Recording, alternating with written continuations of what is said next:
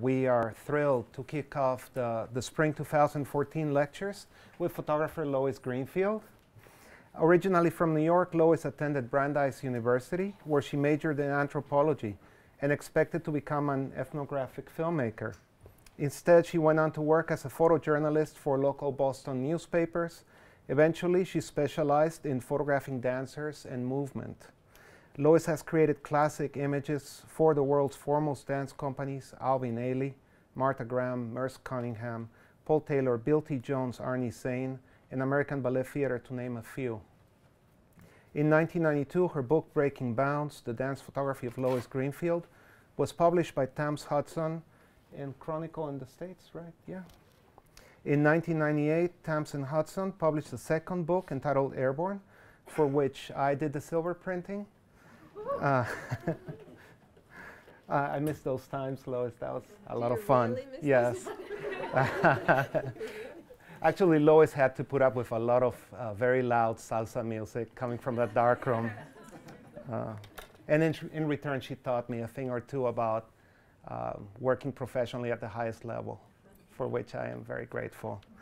Um, since her first exhibition at ICP in 1992, her work has been shown in museums and galleries, including the French Foundation of Photography, the Musée de l'Élysée in Lausanne, Tel Aviv Art Museum, and the Venice Biennale. Her images have been showcased in international art and dance festivals, such as the Nordic Light Festival, Jacob's Pillow, Pingyao Photo Festival, Biennale de la Danse, and Melbourne Art Festival. Her commercial clients include Raymond Weil, Sony, Disney, Rolex, Hanes, Pepsi, Johnson & Johnson, Epson, and Kodak. So please help me welcome Lois to our lecture series.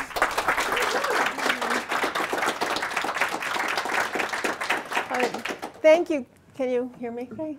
Thank you, Jaime, for the lovely introduction. It really is a special moment when we can reconnect in our different capacities. And I'm so proud of all the gorgeous photography that I wish I could take credit, your gorgeous photography that I can't take credit for in any way that I helped you with it. But it's, I'm just so thrilled with the acclaim, the deserved acclaim and recognition you're getting for your work.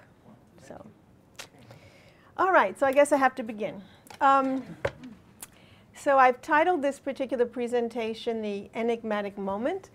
And um, I, did, I titled it that because I'm photographing these um, minute split seconds, but um, split seconds of reality that are not facts. They're mysteries and they invite the viewer to decipher them, but nothing is revealed. There's no answer, there's no rational discourse that can explain what's actually happening in the picture. So, oh, how did that get in this? Did you slip this in? okay, well that's interesting. This is a second, uh, a sarcophagus from the second century AD. And actually I did put it in, and I uh, did take the picture. But um, I took it with my cell phone. And um, it's here really only to represent that when I was in Istanbul, I talk in like zigzags, so it's going to take a minute to get used to my train of thought because um, it derails constantly. But I was in Istanbul teaching last January, and I took myself to the Archaeology Museum and was astounded by the uh, sarcophagi there. And um, naturally, I, I whipped out my camera to take some pictures. And what struck me was that this style, this art form, if you will, was a precursor to the kind of photography I'm doing now. Because I do the stop action photographs and um, the sarcophagus, the sides of them are like bas reliefs. I guess they are bas reliefs. And they uh, represent a decisive moment in which the action, the gestures, and the relationship of the people and the story they're telling um, all come together in a way that the human eye can't see it. So it's almost as if what was sculpted was sculpted from a photograph. So I, I feel there's a kind of analogy there. And um, I feel that's great.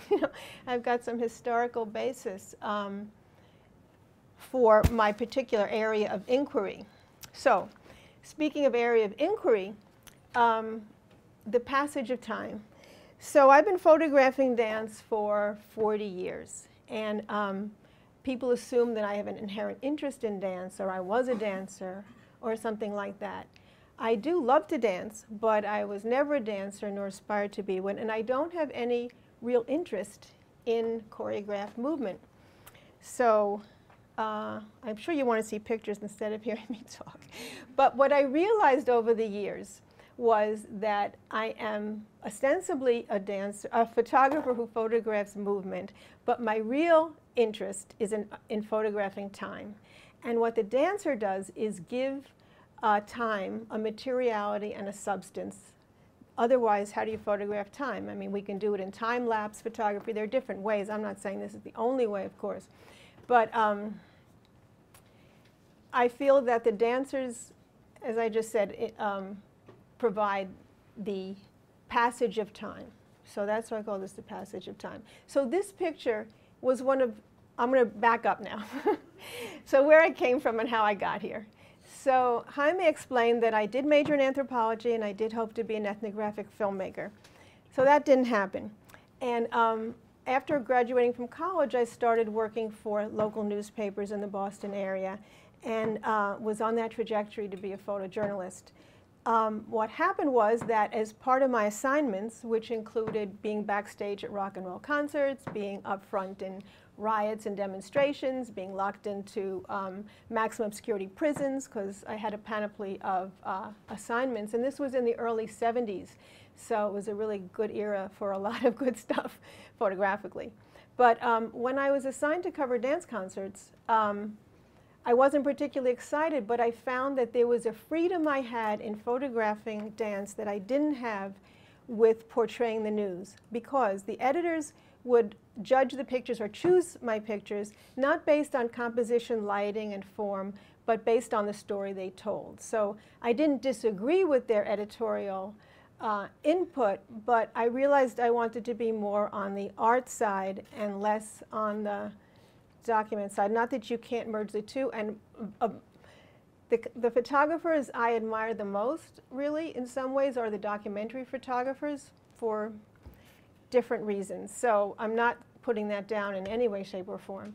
So anyway, I got hooked into this dance thing, and not knowing anything about it, I just started learning how to shoot it, and I went to dress rehearsals and dress rehearsals, moved to New York, went to dress rehearsals, etc., for really almost 10 years, photographing the dance for the Times and the magazines, and 20 years for the Village Voice.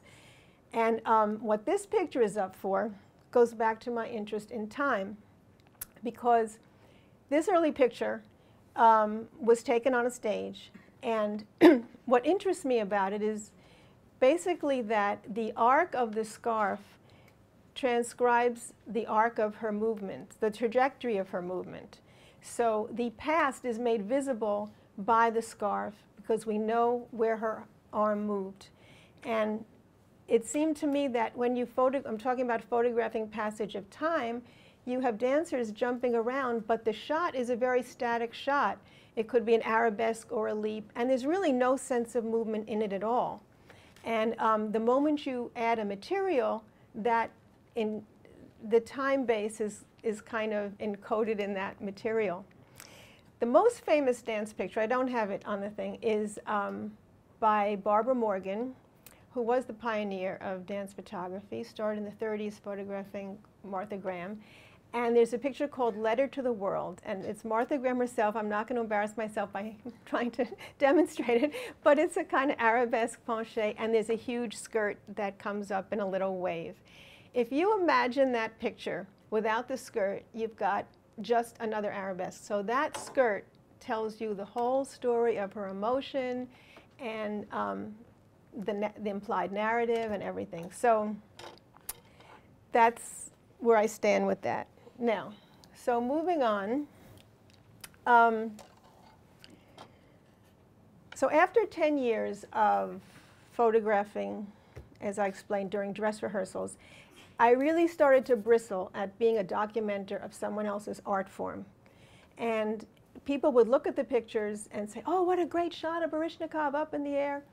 And I would say, well, it's a great dancer performing a great dance move, but it's really not a great shot. It's kind of like target practice where you capture something and there's no particular artistry in the picture. It's just a window on the event. So I wanted to find a way to fuse my, the media that my passion of being my passion in photography with my elected subject matter, which was dance. And I wanted to come up with something that um, was unique and could only exist as a photograph.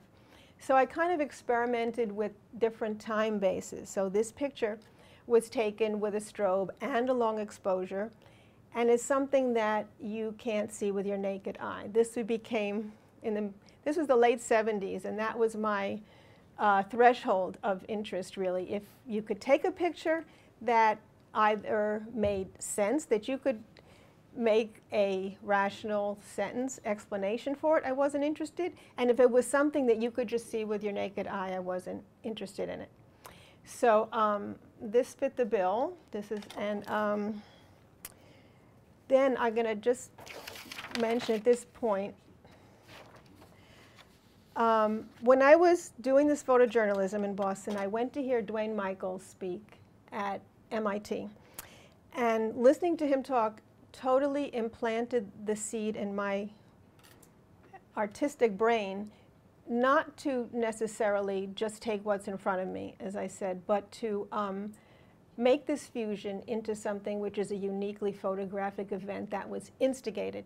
So I just printed out, I interviewed him back in the 70s. And um, just reading through the article, I want to read you this short quote from him. And this is his point of view, and I don't ascribe to and you know all of it, but it's um, very influential. He's very iconoclastic in general. Um, I hope the young people here get to hear him. He's a fabulous um, speaker. He's also a riot.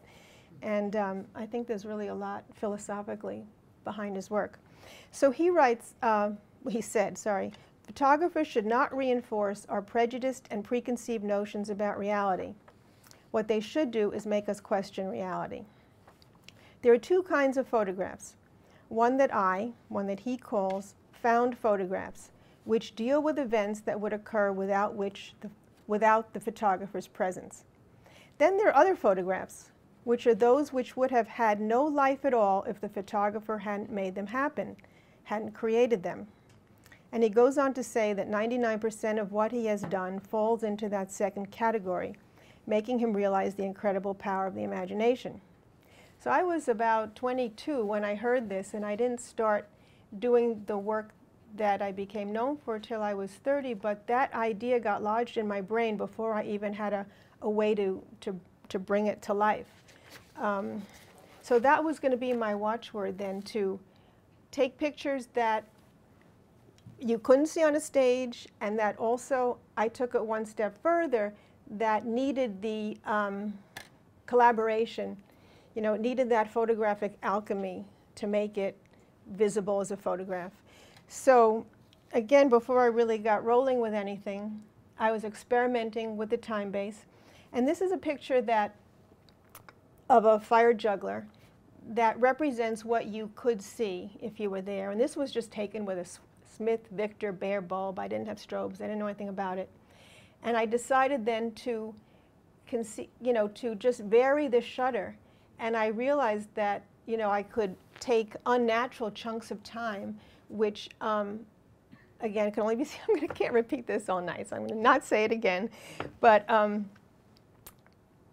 but so I could divide, I could photograph unnatural chunks of time. Okay.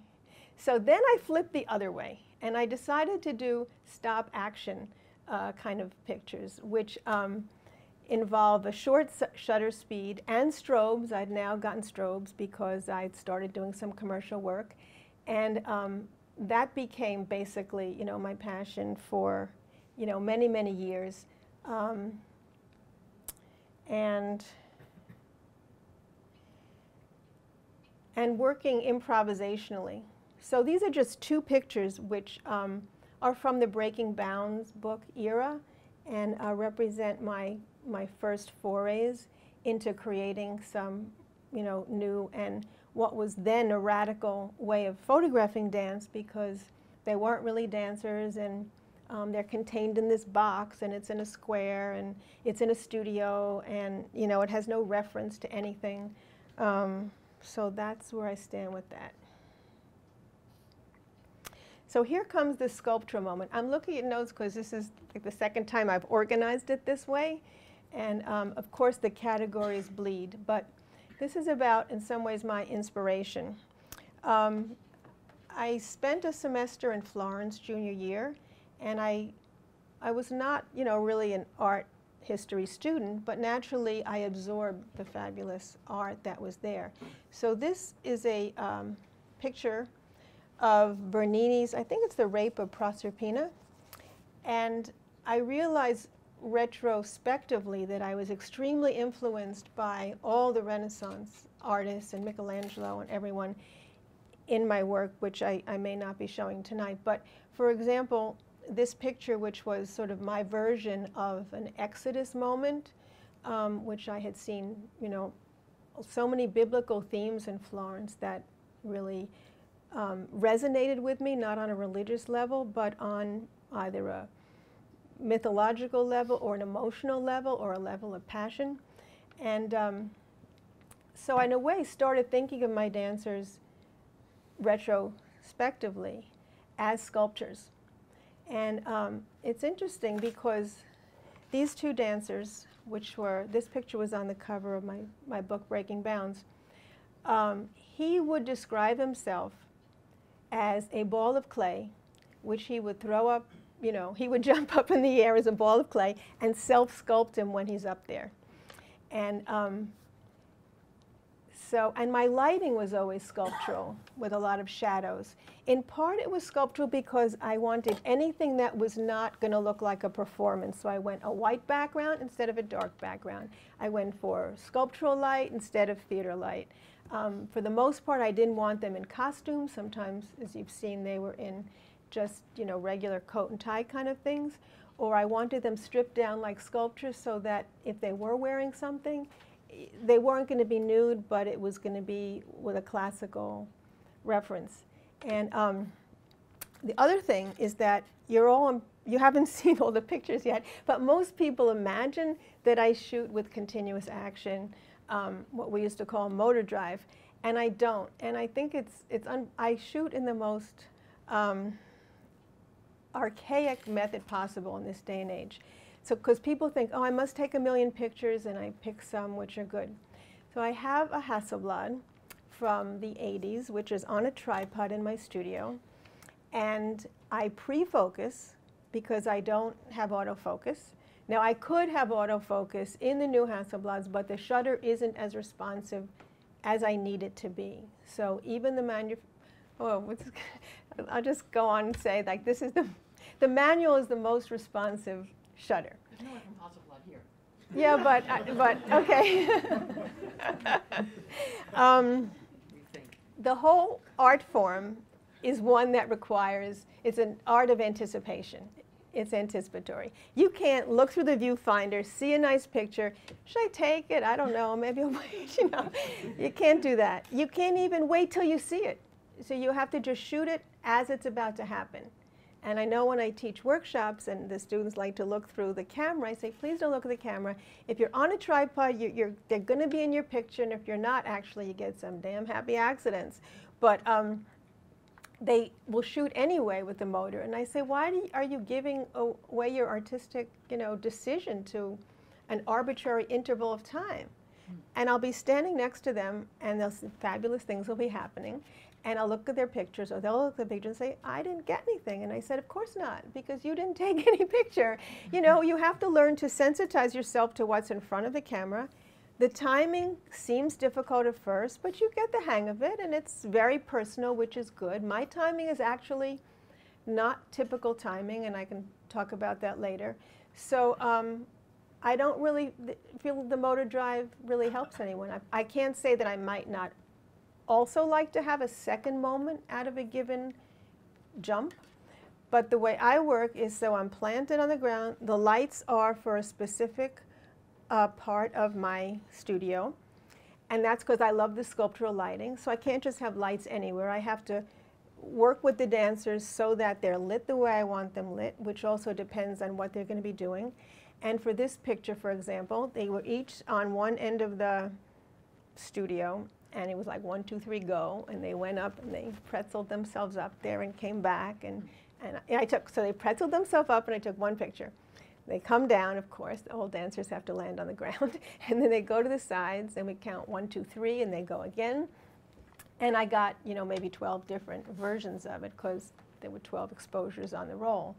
Um, so it is really archaic, it is really a nuisance, but um, I actually see the picture happening. I mean, I can't describe the picture when I'm shooting it, but in the old days when we used to shoot film, which ended in something like 2002, I kind of knew what I was getting. I didn't, I couldn't, you know, draw you a picture of it, but we had a strong sense, right? Yeah, you would see the uh, after image. The after, after image. Yeah, and we just sort of felt it. So, um, yeah, so that's it. It's just such an old-fashioned, counterintuitive way of shooting movement. But that way I also get to direct and, and help sculpt them and give them, because it's a 50-50 collaboration between what they, I base what I do on what they give me, and then I kind of mold it and help it and shape it and also hope for happy accidents to come. Okay, that was long on that one. Um, and then working with the square, which I'm only say in passing, since all my early work was based on the square, provided unusual entrances and exits from the picture, and forced, as Jaime and I were talking earlier, the emphasis was on the composition because you have the negative space and the forms um, work better when they're with the cropping, I guess. It's with the defined border. Uh, and what I like about the square is that it's um, not a natural way of seeing. I think we all see, I'm seeing this room from Tom to Jaime and then maybe, you know, cutting off under the projector. So I'm seeing it in a DSLR format. And so once you start to shoot as a square, which is usually used for portraits and fashion where the person's in, in it someplace, but you're trying to get something kinetic, um, you often crop them out, which was a blessing in this case.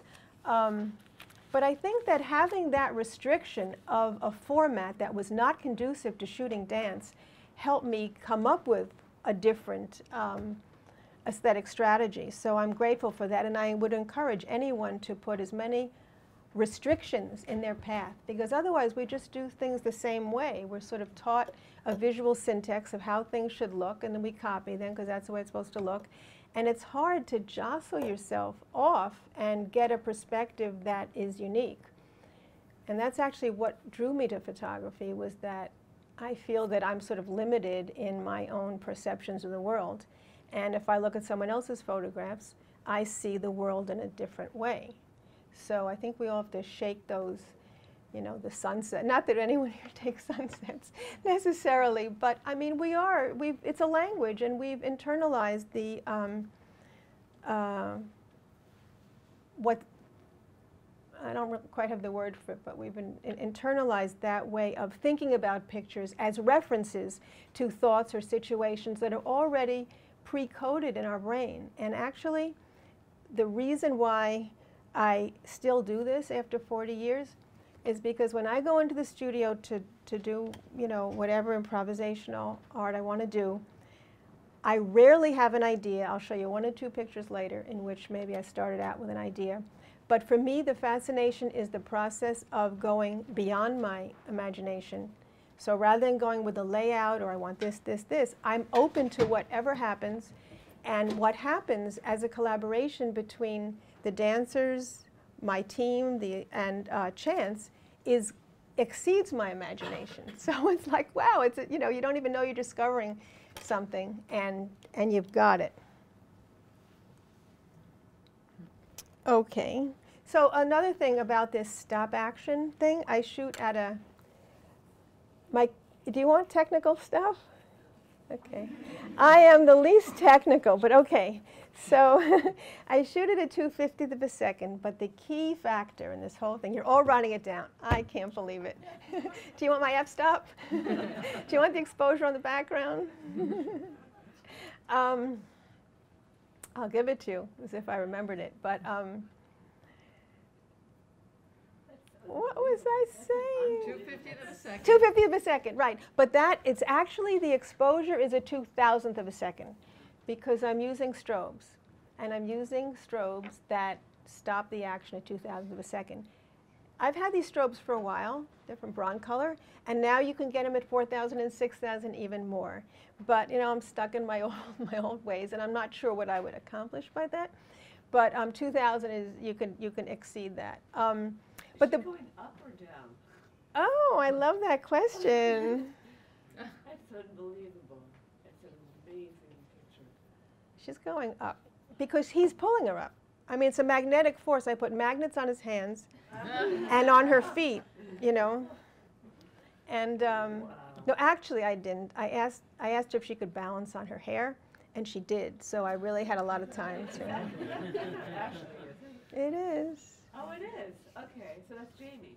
It is. Okay, yeah, they're old, old friends. Oh, that's good.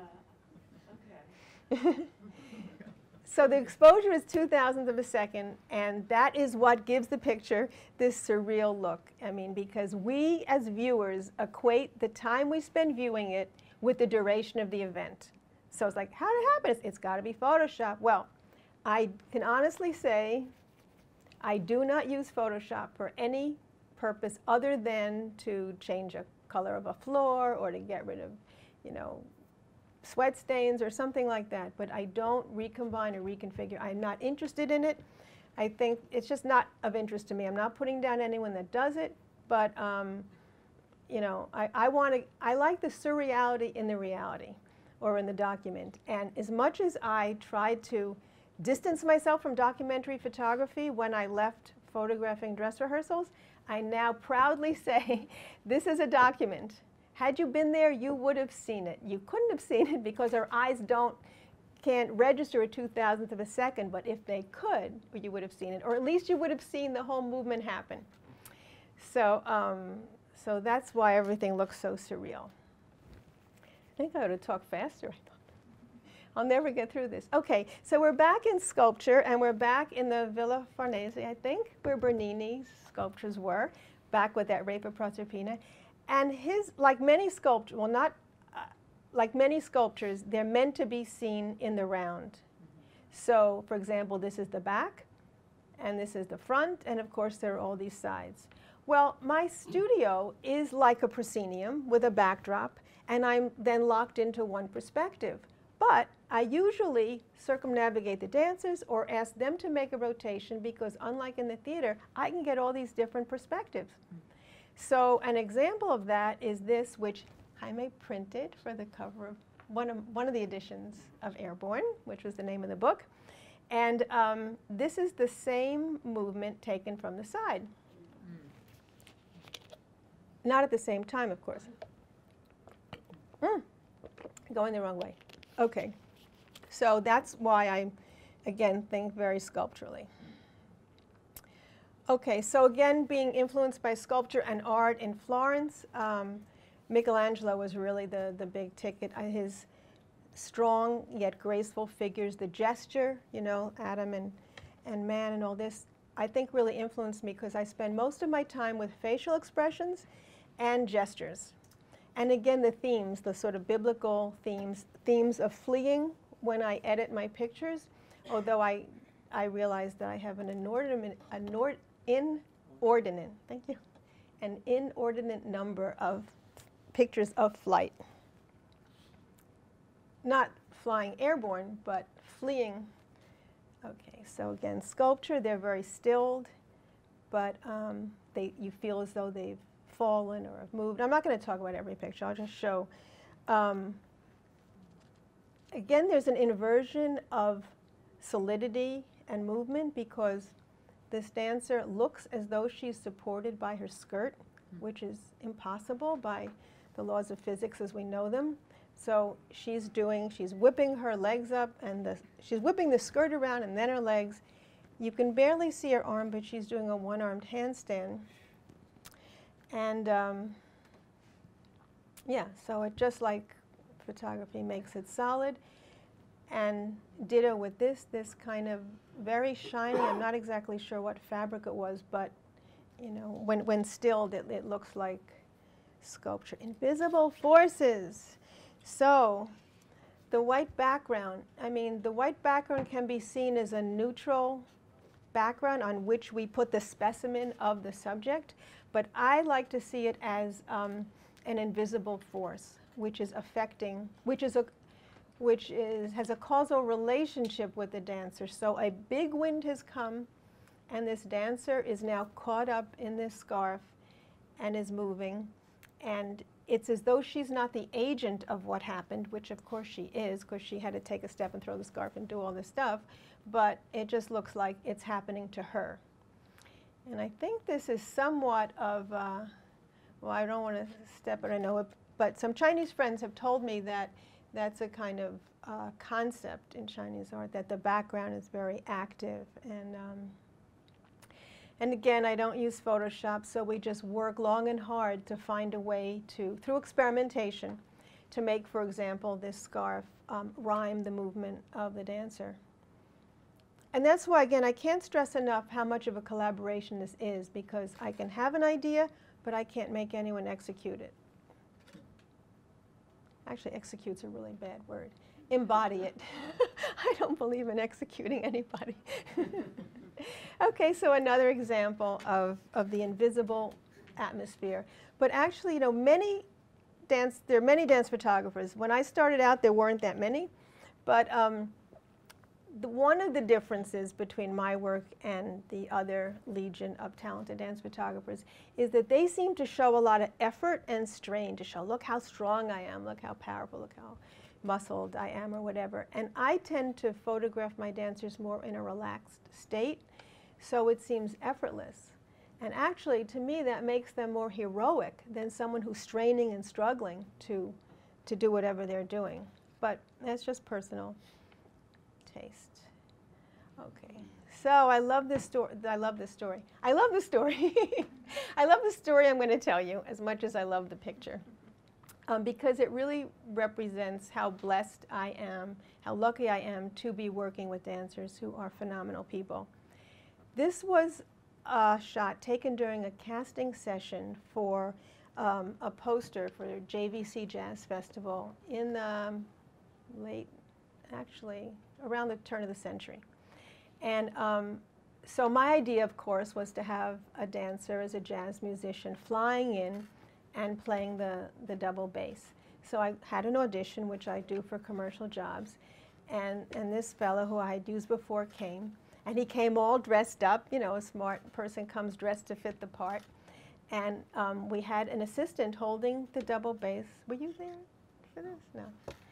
An assistant holding the double bass, and um, the dancer was supposed to jump up, play the, the, the frets, whatever, and then the assistant jumps out and and then he lands and everyone lives happily ever after. But um, he couldn't do it. He was the first one. He couldn't do it. He said, you know what, Lois, I can't do it. I'm sorry. But can I stay and help all the other people coming? Because he was a gymnastic coach and I could help them. I said, sure, thank you so much. So at the end of the day, he said, oh, Lois, I think I figured out how to do it. Let me try. So I, of course, was taking Polaroids because this was pre-digital. I was shooting film. And um, so you know, I saw he was getting it, and I just thank my lucky stars that I was smart enough to actually put a roll of film in, because these moments never come back. I mean, ever. So, um, so we got this in a few shots, and the next day, of course, it was different. They didn't want this background, which was from another job, and everything was all different. So, but I love the picture for so many reasons, including the fact that I. I get very emotional about my relationship to the dancers and how generous they are as people and what great collaborators they've been over the years. Depicting time. Okay, that's my favorite thing. Mm-hmm. So this, this series I want to show you is a campaign um, that I did for a big watch company in the 90s, and it was pretty all over then. And what do I want to say about it? I'm not sure. Um, basically, I was asked to um, depict the concept of precision movements, and they saw a picture I took in one of the books and asked me if I could replicate it or do something similar. So um, this is really to show what really happened. Now we took many, many, many contact sheets, but um, I like to show this always to prove that nothing was photoshopped, by the way. Um, So it's endless repetition and variations on a theme. There's, there's no mats. There was just maybe a little padding underneath the backdrop. And this was another one. And our friend over there smiling at us was the same fellow as with the double bass. And this was my concept to, um, to illustrate the gears of a watch. So each one of them is supposed to be. And um, once again, it really happened. I mean, it starts off slowly, but the dancer's skill is to not to execute the movement, but to do it in the right place and at a time coordinated with the other people. And dancers and gymnasts can all um, visualize themselves in space so they can be pretty consistent. And then the only thing left is really the timing so they're all doing it at the same time. And I'm not sure if the picture I picked, that they picked, is, is on this sheet or not. It's kind of a fake sheet. One half is one sh shot and the other has another shot. And the last one was uh, this one. So, becoming. Okay, after the the Breaking Bounds book came out, which had a lot of athletic and gymnastic and impossible moments, all very stop action and surreal, as I've said. I wanted to do something where um, it looked as though things were actually transforming before your eyes, even though it, it is still a split second of, of an exposure. So I invited this dancer in. It was the second time we worked together. He's um, actually was a site-specific performer, not much of um, you know classical dancer, and we threw flour on him. My this was the one of the only times that um, I did have an intention, not a layout, but an intention, and that was I wanted him to look as though he were in an hourglass, and you inverted the hourglass, and the sand comes down, and the viewer is imagining the sand as a as a human figure. And then you imagine the moment after is just a puddle of sand. But people have said to me, whoa, it looks like a Vatican ritual, it looks like Pompeii, it looks like Auschwitz. And I love that because I'm never trying to portray a specific thing. This was actually taken for a dance company that I work with many, many years, Feld Ballet that we spoke about. And um, so what happens now when I shoot dance companies, actually for the past probably 20 years, they come to my studio and bring some props. So the dance involved shredded newspapers, and uh, they brought them, and this is the dancer, and then we brought fans, and I don't remember all the details. It's lit from above, and we turned the fans on, and just went crazy. And when they stuck to his face was, um, I start directing him, do this, do that, or whatever. And what I love about this shot is that it's chaos and it's a moment where the chaos coheres into something really perfect and he's like the god of creation. This is the same dancer uh, with the same dance company in a different dance and um, I work with, so I was talking about my post-Breaking Bounds era where I'm working with a lot of props and stuff, so I, I collect things. I frankly garbage pick things and whether they're shredded newspapers or fabrics or beads or drop cloths. Um, shredded newspapers now, we start shredding everything. Um, I just have them handy. So the dance hadn't been created, and um, but I had to take a picture of it.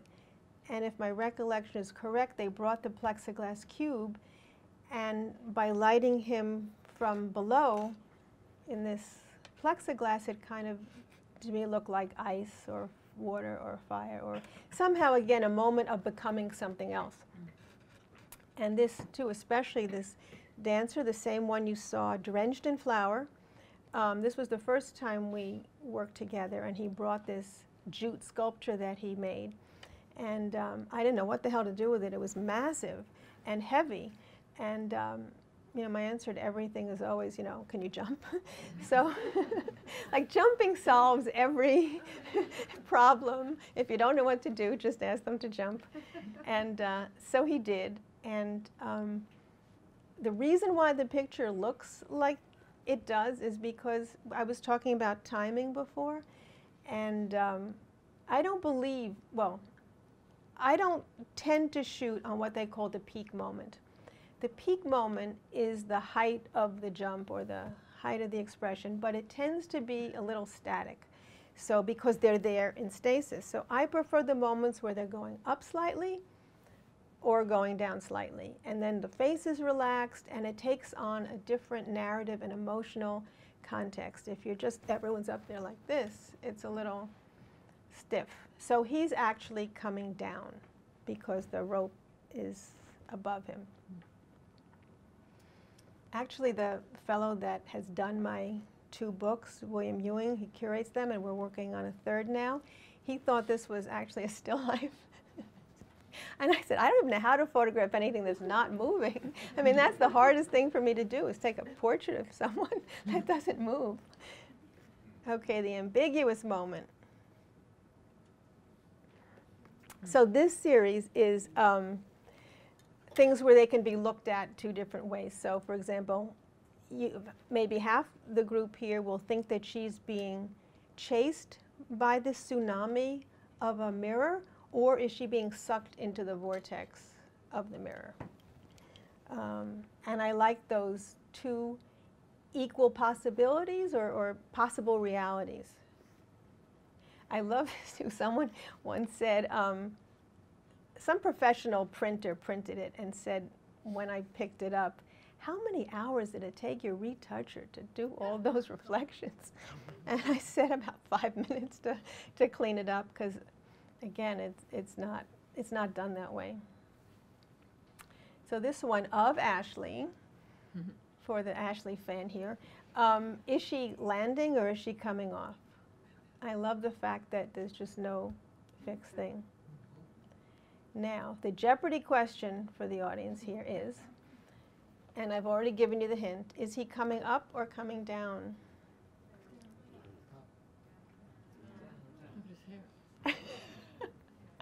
I think half the audience says up and half says down. Well, there are two ways of looking at it.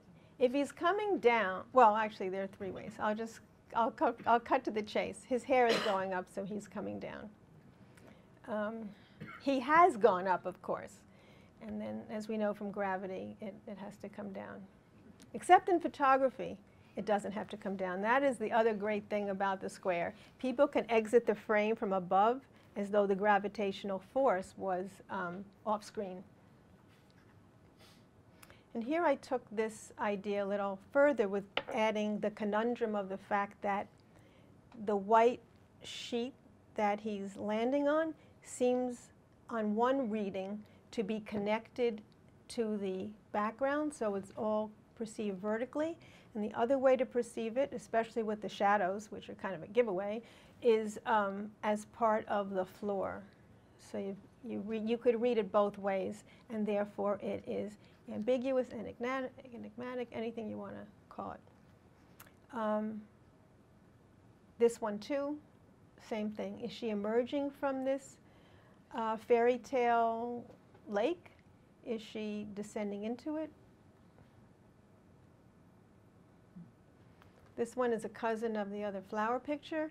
And you've got two conflicting cues if you want to know if she's coming up or down. Because the flower is definitely going up and she's definitely going down. And it looks like there are jets propelled, but basically as she comes down, she's sweeping up the flower and then jumping up and then she's going down again. Hmm. So, the mythological moment. I find that again in the edit, because not, not by layout or by design, I end up shooting things that take on a mythological, or could. And I know I shouldn't say that he reminds me of Narcissus, but so I won't say that. and this is not Orpheus in Eurydice. and this is not a Sisyphean uh, scene from hell.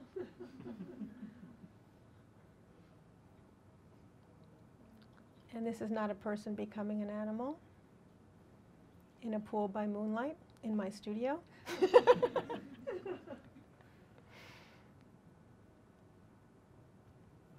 this is exactly what you're seeing.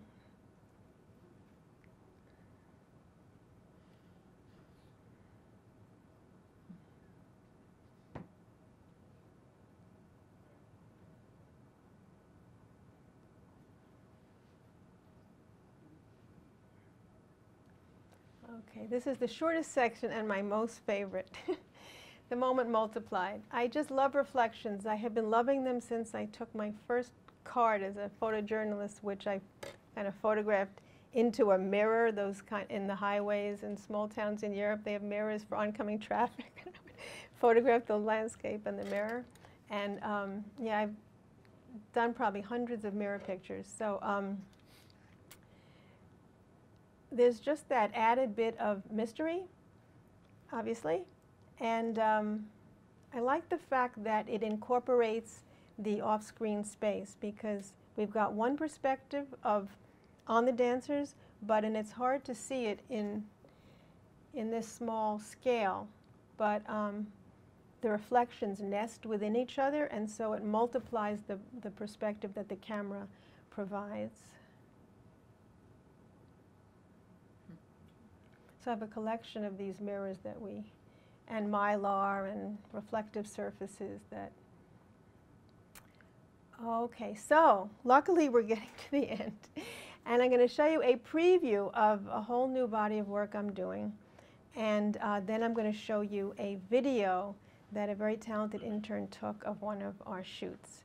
So I really, I'm not going to, I don't think I have to say anything about this. You'll just see for yourself.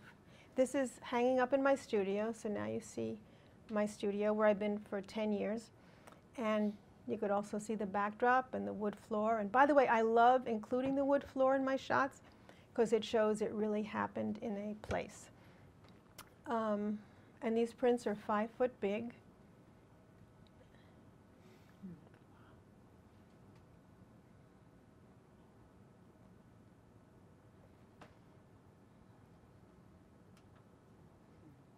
The color's a little off, but we don't mind. They look better on my monitor.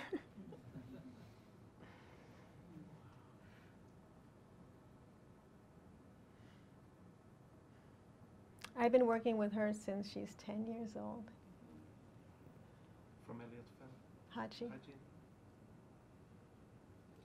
There she is again. This was actually a location shot. We went up to an asteroid, and um, I brought just one strobe. I couldn't count on natural light up there in the, in the stratosphere. That's my daughter-in-law in her wedding dress. She was a dancer.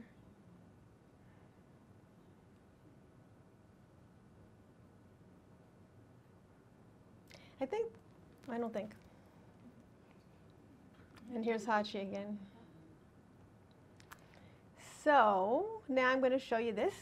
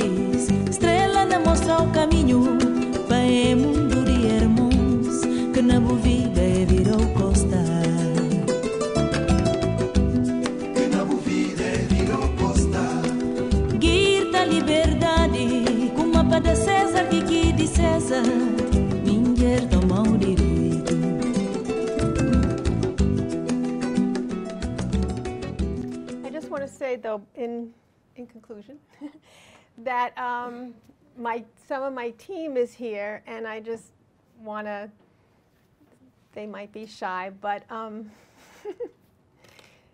so I just want to introduce or mention Jack Deaso, with whom I've been working for over 30 years, who's been a uh, creative collaborator as well as many, many other things and contributed so much to the work. And, um, and my current is like, what, three years, Chris? Chris Attendido, who, who spearheaded the whole one-to-one thing that I showed you and contributes so much to all my shots and keeps me sane as well. and Cameron, my intern, for the moment. So that's it. I thank you all.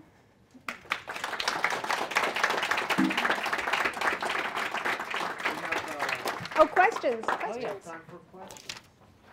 I'll pass around the mic. It doesn't amplify your voice, but it's necessary for the video. Questions? No questions. Oh, no, there's questions. Here's a question. Sorry. Did you have a question? Yeah. You do. The reflection uh, device that you use, what like material is that called?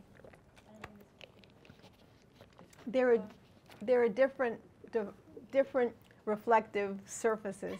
The I one don't really have names for them, things I find, or it's often not what it is, but how you use it and how you light it. Um, it could be as simple as plain plexiglass. In the video you saw was plain plexiglass.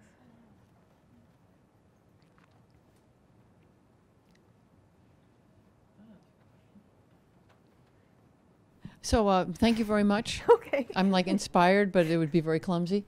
Um, so I'm, I'm wondering, have you ever been asked or been interested in photographing underwater?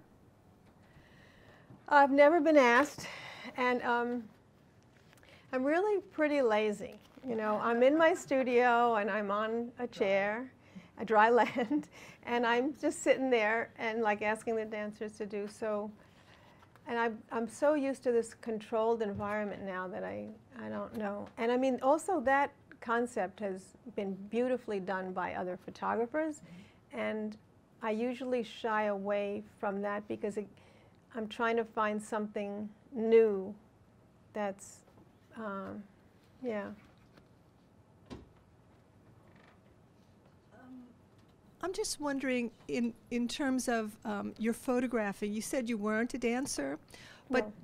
but do you, you look like a dancer. You. But do I you feel like a dancer when you're photographing? Do you feel like you're, you know, part of the whole dance? Like you're completing it or they're completing you in some Um, way? It's sort of different because they're not dancing, in a sense. Most of these shots are like one, two, three, go. So I might demonstrate. I don't know. It's it's a hard question because I'm not photographing dance. I'm photographing dancers. But you're making a dance out of, the picture is a dance in a way. The picture could be could contain a dance, but it's it's like a split second dance. Um, so the question was. The question was, do you, if you felt like you were dancing with them, but if it's not, in some but way we- creating that dance on the, on the, Well, we're always sculpting their gestures or their facial expressions or um, not, s they, they weren't in this slideshow, but we use a lot of fabrics, mainly, you know, for commercial work and other things.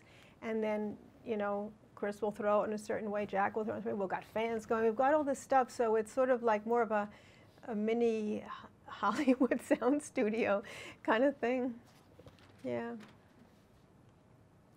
I think we inspire them maybe because we are kind of lively and dancing and it's not any kind of clinical thing where we're telling them what to do and where to be and like we're we're creating an atmosphere where they can blossom. And they don't get to do that in a dance company. I was gonna suggest maybe you could talk briefly about held, Okay, and that that goes to kind of to the spirit of uh, Ellen's question. right, okay. Sorry. Um, I'll make it shorter, right, than before? I'll give you the short answer. I was invited to create and per- perform in a dance um, by the Australian Dance Theatre there in Adelaide, Australia. And I met them in 03, I think. And um, the choreographer asked if I would be interested in being on stage and shooting parts of the dance live. And I said, I really haven't done that in a long time. I don't have the skills anymore or the interest in it.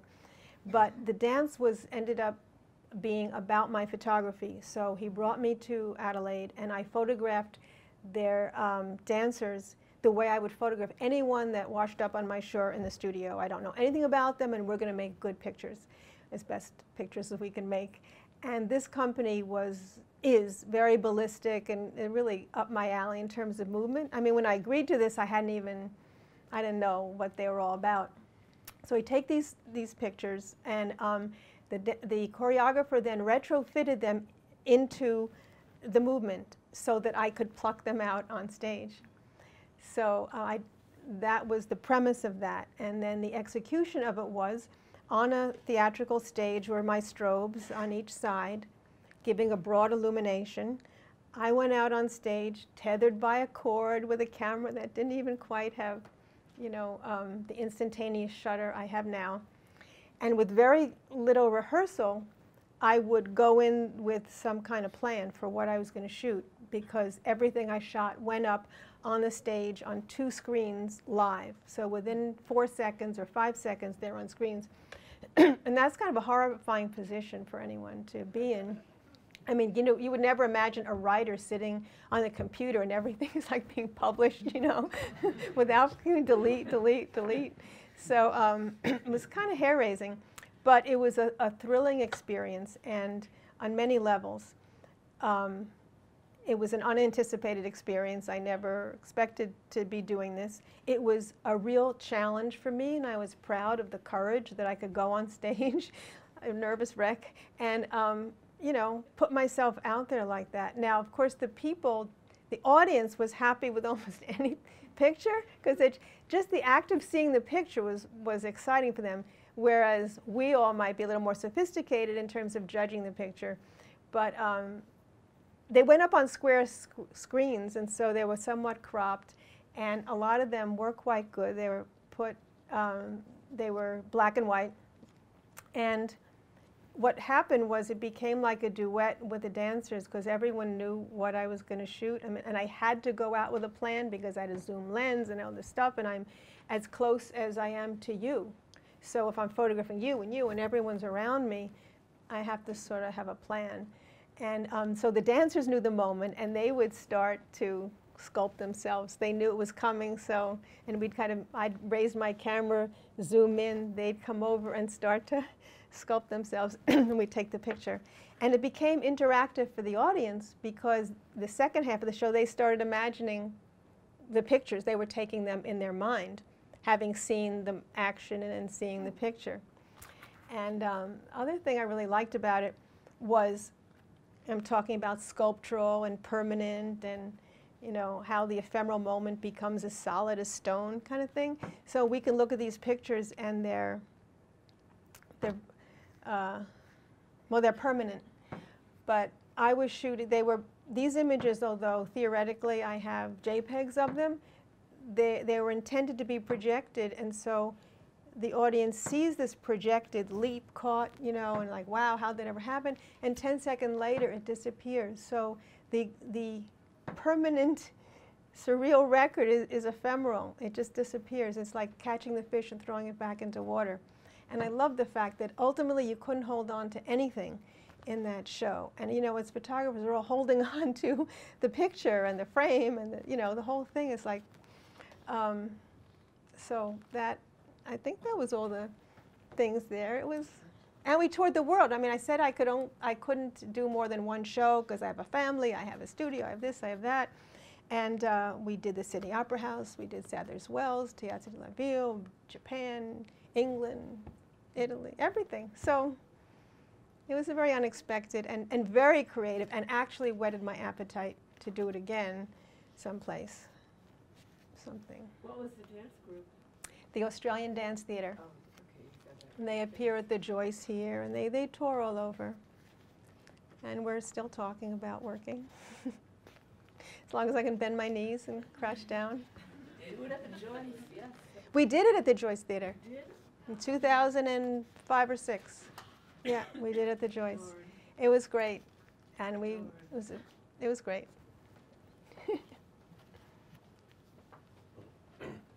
Um, the, the one thing you, you touched on that I'm interested in is the expression of time. And I don't know if you're familiar with the French philosopher Gauss Deleuze. He talks about the Delu? yeah, he talks about the present is the past becoming, mm. and how you look at slices of time. And it just it just hit me that what you're doing actually embodies what he does, what he speaks about. Have you ever transferred from dance to other photography with slices of time? Well, I guess my area of inquiry would be things that move. I've done a lot of athletes. Yeah, well, yeah. So, yeah, I've done a lot of athletes. And um, anything? Can't think of any. But I'll have to, I'll have to read him. yeah he's, he's very fascinating. Um, so I also shoot ballerinas, and I myself was a dancer for nine years. So for me, shooting it, having that knowledge of dance and how the body moves, it helps me a lot. Um, and my knowledge of it, at least, is just feminine. Like I know how the female body moves, being a ballerina and everything. But I find it hard to shoot male dancers. So I guess my question to you is, do you know like between every dancer you shoot, do you notice a difference in their movement, and do you have to change your shooting style to fit them? Um, I, I don't change my shooting style. It's because then my, my style is that I'm going to respond to what's in front of me and work with them. I actually started this whole thing with two dancers, two male dancers.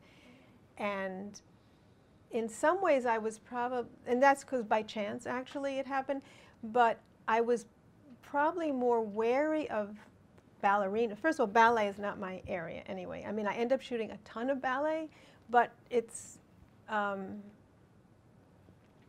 it doesn't afford me the possibilities, the freedom of reinterpreting movement or inventing movement. It's more codified as a vocabulary and therefore limited in its imagery.